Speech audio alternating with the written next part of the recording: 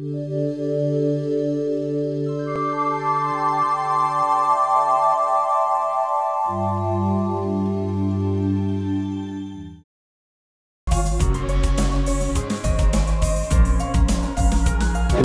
this wonderful concept of servant leadership and how it applies to us here as Houstonians in our personal, professional, and public lives, and how we can apply the principles of servant leadership to really serve our community, be, of great, be a great servant, and do it in a very selfless way that allows the human beings that you're helping and working with and serve and serving to become more fully developed as human beings to fulfill and reach their God-given potential. And it really is a great concept and element to have in our community. Really, you have to be clear as a servant leader on your thinking first. It really starts with how do you in your thinking reflect and meditate on what you say you think and believe.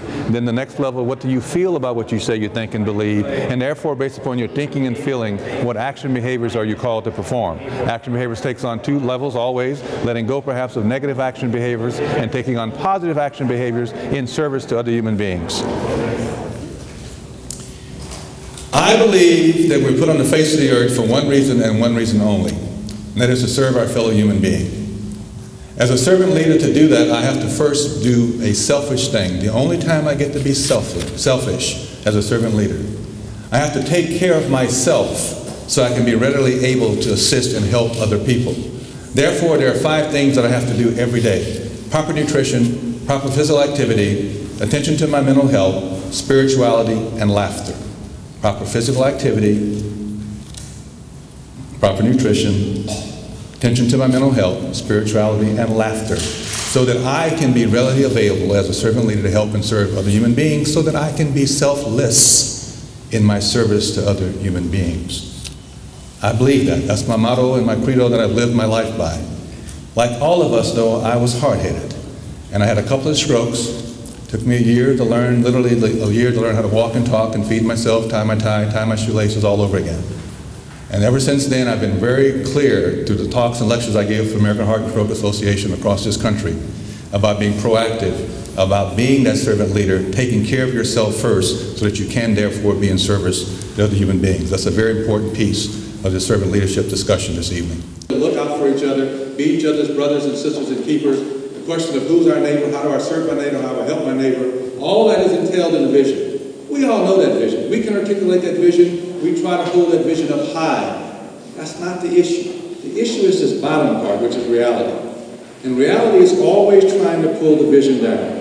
Reality is always trying to pull the vision down. The great thing about this vision-reality context is that this tension here, this tension between vision and reality, this gap, this gap is where we all live.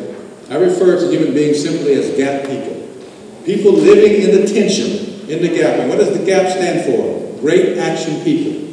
So the question always from a servant leadership perspective, what are great action people going to do to make sure that reality and all the negatives, all the issues, all the things that go on, that is always trying to pull the vision down that helps keep the vision high. I had a, a wonderful friend of mine who, who this past this past week uh, Father Jock Weber, uh, Jesuit, SJ. Uh, we always tease him that SJ meant social justice because he was a social justice person. Really stands for Society of Jesus. But Father Weber was a mentor. I worked with him for many years. And he said to, to me about three things about this vision reality thing. He said, the only way you keep the vision high is to surround yourself by the right people. You are known by the people you hang out with, the people you work with, the people you socialize with, the people in your personal, professional, and public life. You gain strength or you get negativity, negativity from those people. He said there are three categories of people to stay away from at all costs. Turn around and run. Negative people, negative people, the drama kings and queens, and the somebody done me wrong song people who are still mad at something and somebody that happened five and ten years ago. The other person probably forgot it, don't even remember what it.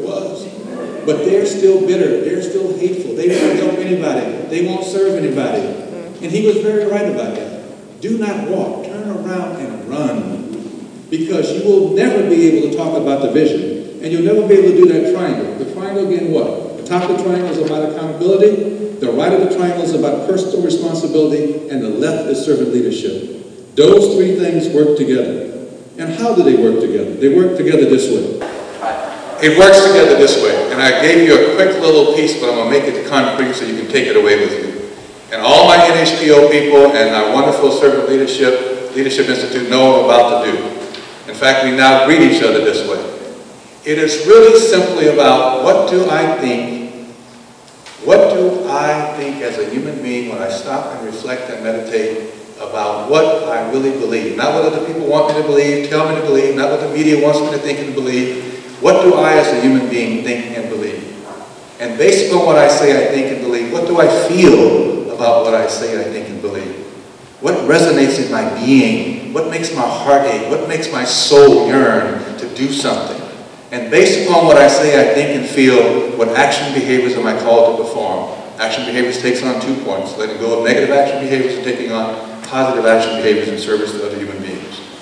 So this is the way it operates. The head, the heart, and the gut. To think, to feel, to act. The fancy way. The cognitive, the affective, behavioral parts of my being. The past, the present, the future, yesterday, today, and tomorrow. The message, the mission, the motivation. The traditional, the transitional, the transformational. Because that's all it is.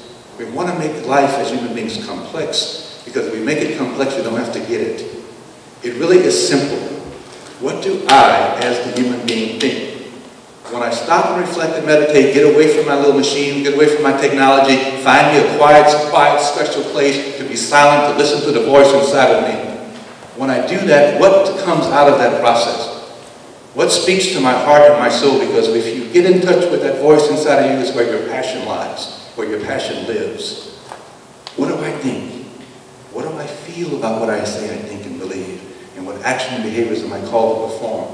What I've learned throughout my life, the people who don't get it don't want to get it. Because as long as they can say they don't get it, they don't know that they can't be held accountable. Mm -hmm. But when I know you know and you know that I know that you know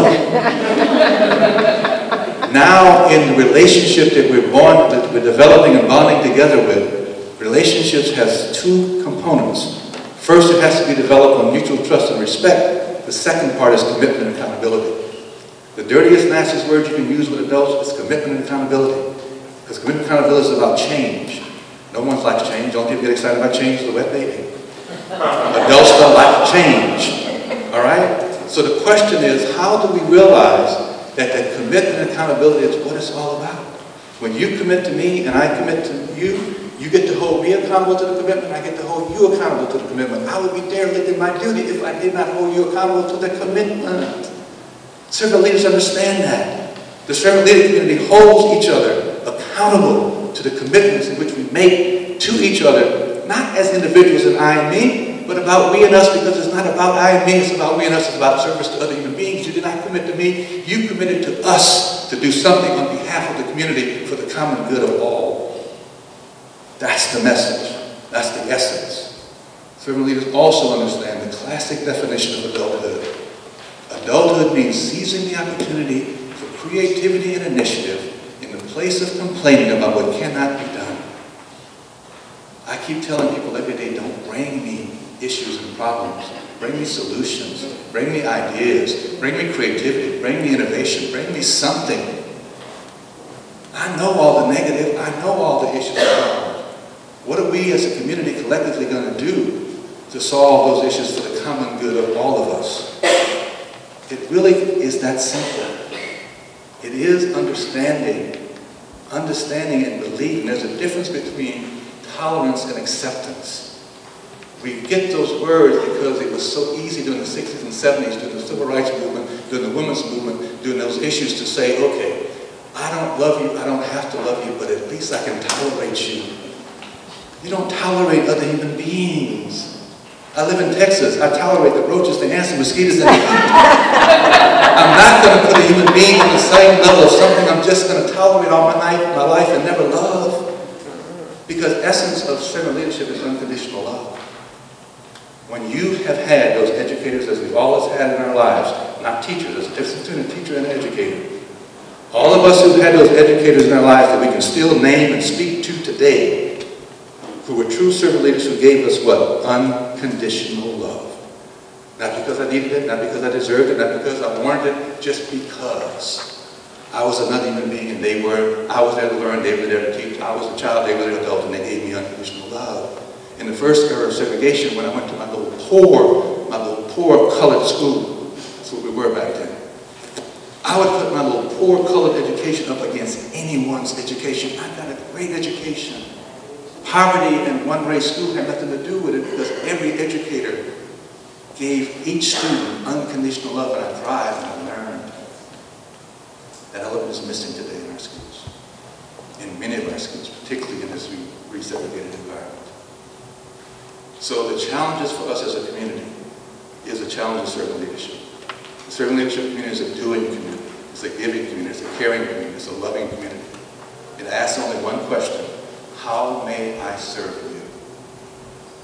And how may I be of service to the collective good for all of us? This, the dots connecting is back to what I said about your thinking, feeling, and acting. Let me go through that real quick.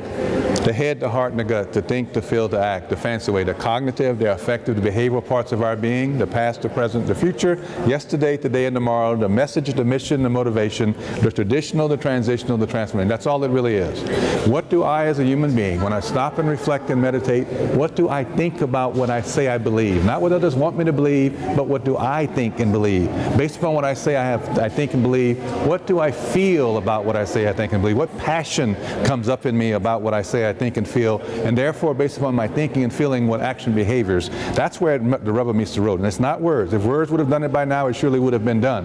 It's about action and behaviors. In fact, use words only as necessary because you don't have to tell somebody you care about them. You have to tell somebody you love them. It is shown through your actions and your behaviors.